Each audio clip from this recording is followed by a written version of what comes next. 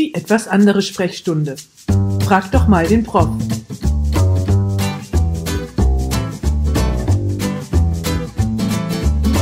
Herzlich willkommen heute zu einer Frag doch mal den Prof Sonderfolge. Heute haben wir ganz, ganz, ganz viele Zuschauerinnen hier dabei und sie haben uns vorab ganz viele Fragen gestellt. Bei einer Lash, ich hoffe, ich spreche das richtig aus, Lash- und Unterleibs-OP wurden bei mir letzte Woche starke Verwachsungen im Bauchraum, vor allem an der Blase, auch mein Bauchfell war nach zwei Kaiserschnitten damals medizinisch notwendig wegen Beckenendlage meiner Tochter wohl völlig verrutscht oder an einer ganz anderen Stelle als normal festgestellt und operativ korrigiert. Gibt es etwas, das ich tun kann neben der verordneten körperlichen Schonung, um erneute Verwachsungen im Bauchraum von dieser OP oder diesem Eingriff zu minimieren? Zum Beispiel vielleicht auch bestimmte Nährstoffe, die ich nehmen kann? Mhm. Also da muss ich äh, sagen, dass ich da keine Erfahrung habe, was jetzt direkt Nahrungsergänzungsmittel oder Nährstoffe oder Lebensmittel betrifft. Das wäre auch sehr, sehr weit hergeholt. Also äh, die normalen allgemeinen Regeln gelten natürlich auch.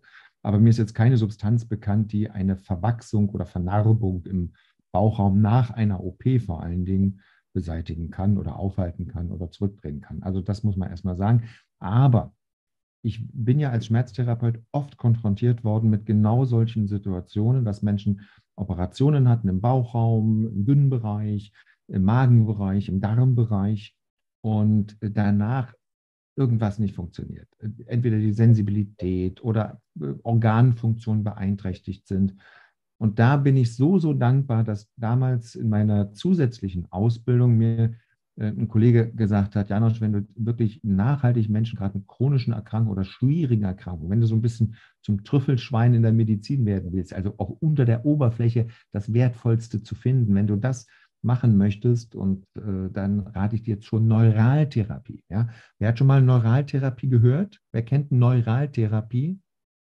Ja, das ist Spritzenbehandlung mit einem Lokalanästhetikum. Und zwar Achtung, in und an Narben auch. Narben können Störfelder sein. Ich habe die verrücktesten Sachen schon erlebt.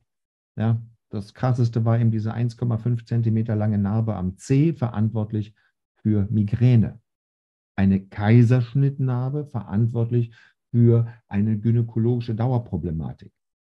Ja, also Schmerzen beim Geschlechtsverkehr zum Beispiel. Oder ein Bauchnarbe ist ja auch eine Narbe, verantwortlich für eine Darmentzündung.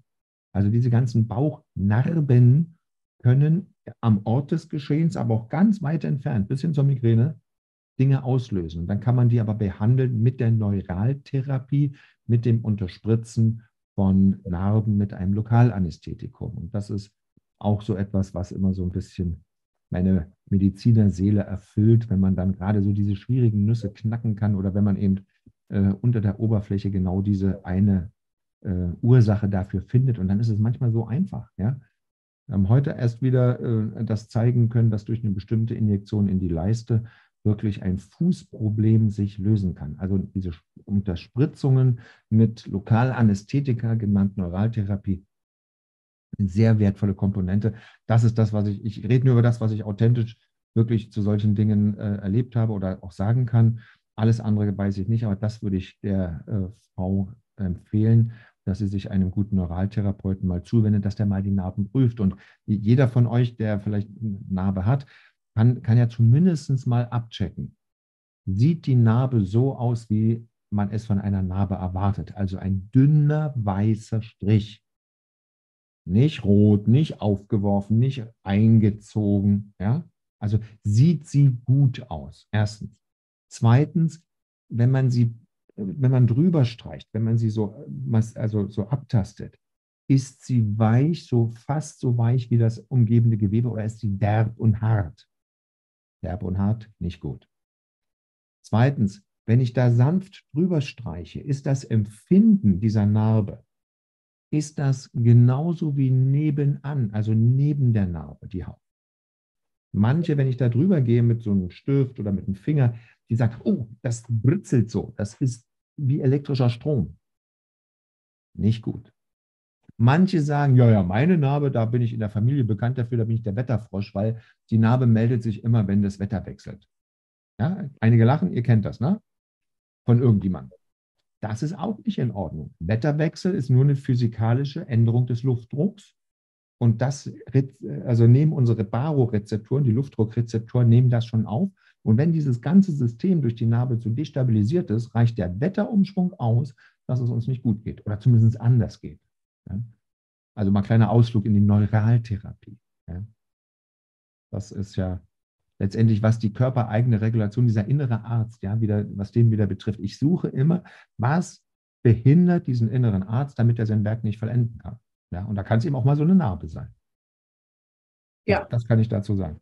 Und Janosch piekst gerne. Ich hatte einen Hexenschuss und dann komme ich auf die Liege, dann turnt er erstmal eine halbe Stunde auf einem rum macht die komischsten Verrenken und es macht nur Knack und genug. Und dann kriegt man irgendwelche Spritzen und dann, er macht ganz viel mit Akupunktur, Janosch, und dann kriegst du Akupunkturnadeln hier und da und überall und dann musst du eine halbe Stunde so mit diesen Nadeln liegen.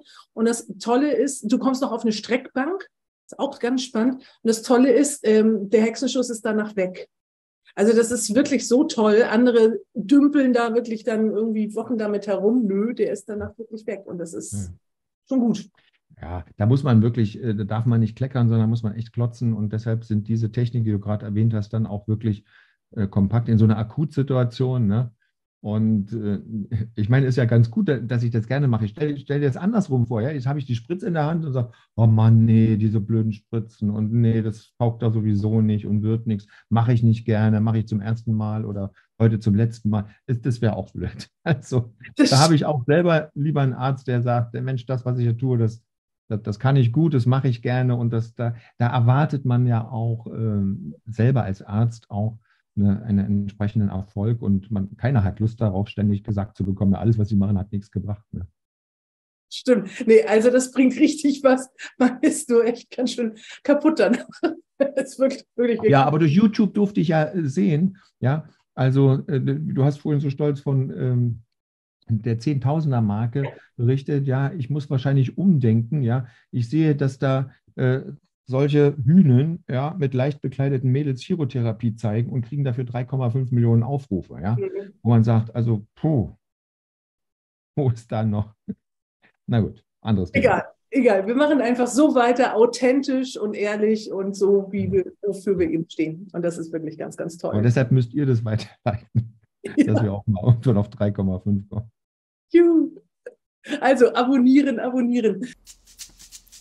Das war die etwas andere Sprechstunde. Frag doch mal den Prof.